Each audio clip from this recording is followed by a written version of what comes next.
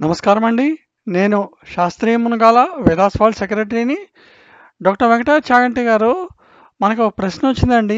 ఈయన శ్రీకాంత్ అని ఇక్కడ అట్లాంటా నుంచి పంపించారనమాట వీళ్ళ అబ్బాయి అడుగుతున్నట్టు అనమాట ప్రశ్న.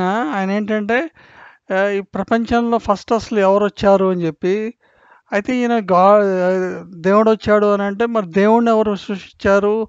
దేవుడిని దేవుణ్ణి ఎవరు పంపించారు? ఇక్కడికి భూమి మీదకి ఆ- రేంజ్లో అడుగుతున్నాడు అనమాట చిన్నపిల్లాడు. మనం దీని మీద ఆల్రెడీ చేసాం వీడియోలు మీరు చూసారో లేదో నాకు డౌటు. కానీ మీరు మళ్ళీ ఒకసారి చెప్పాలి దీని గురించి. వీళ్ళు దేవుడు వచ్చాడు ఇట్లా అంటున్నారు. మీరు ఒకసారి దీని గురించి మళ్ళీ కొంచెం క్లియర్గా చెప్పండి మీరు. ఓకేనా అండి? ఉంటానండి. ఓం. Daddy, who was born first in the earth? Uh, born first, uh, God. But who made God first? Um, okay. I don't know the answer. Let me find out. Okay. Thank you. Om Namaste. Nin Doctor Venkata ವೆಂಕಟಾಚಾಗಂಡಿ President Vedas World Inc. Sastry గారు మీ ప్రశ్న విన్నాను. ఆ పిల్లవాడి ప్రశ్న కూడా విన్నాను చూశాను. Let me answer this question in English so that the boy can understand it's very difficult question it's very difficult to answer but let us try first okay the question to the boy. For his question, I have to ask another question so that he'll understand what I'm trying to explain. So, who is born first uh, on earth? That was his first question. For that, his father replied, God. Then he asked, Who gave birth to God? Or who made God? Okay, uh, let's see this. to the boy. I don't know what's your name, uh, but uh, you're very sweet. So oh, let me put this question to you Who is born first, you or your father? That you have to answer. If you say your father is born first, not you, mm, that's not correct. You're born first, then your father was born. Tell me how. So, if you can reply to this question, or if you can think about this question, or if your father explains you the answer for this question, then I'll reply to your question. So, everybody, listen very carefully. So, who is born first?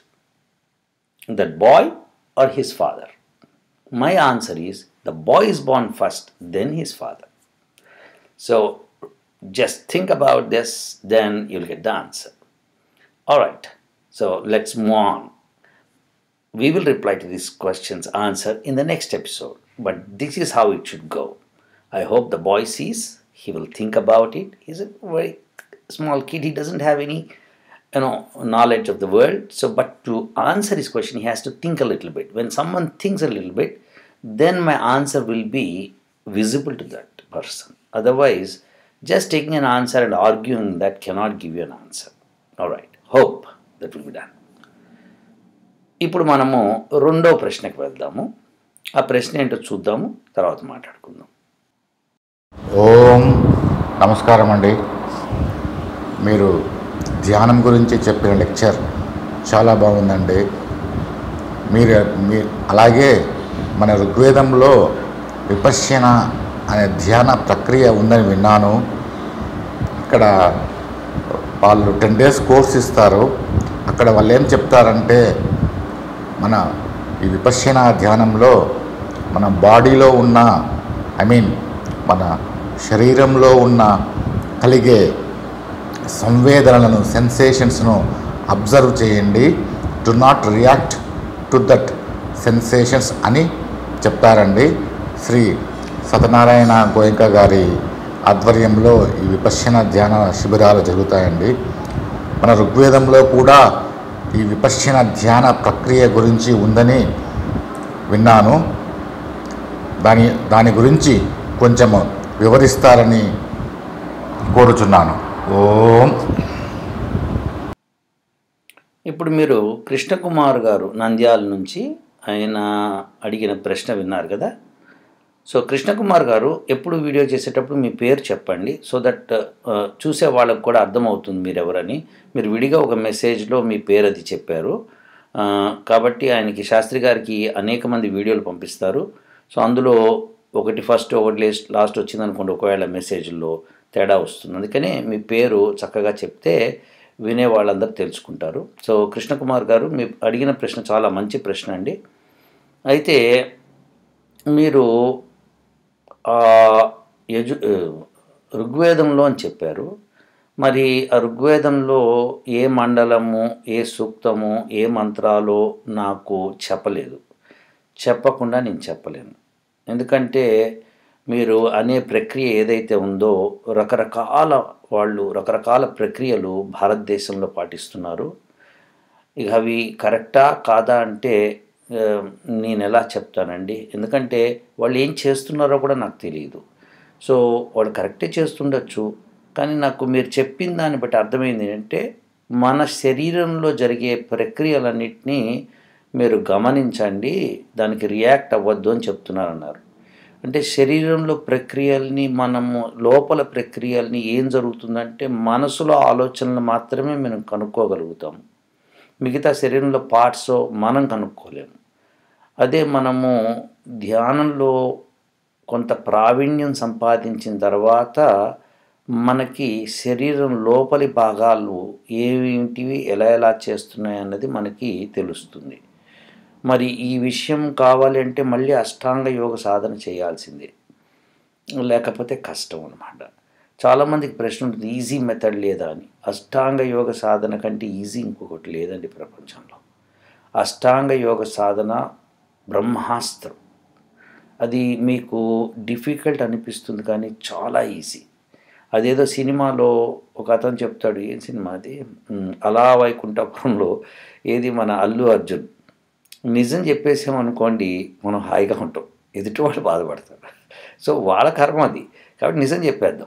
అట్లనే ఇప్పుడు అష్టాంగ యోగ సాధనలో మనకి యమాలైదు నియమాలైదులో ఈ సత్యం పలకడం ఒకటి ఉందన్నమాట ఇది చాలా కష్టతరమైన విషయం అనమాట సో ఇది పలకగలిగినప్పుడు అలాంటివి శౌచము తర్వాత ఇట్లా రకరకాలు ఉన్నవన్నీ ఎక్స్ప్లెయిన్ చేశాను ఇదివరకు వీడియోలో.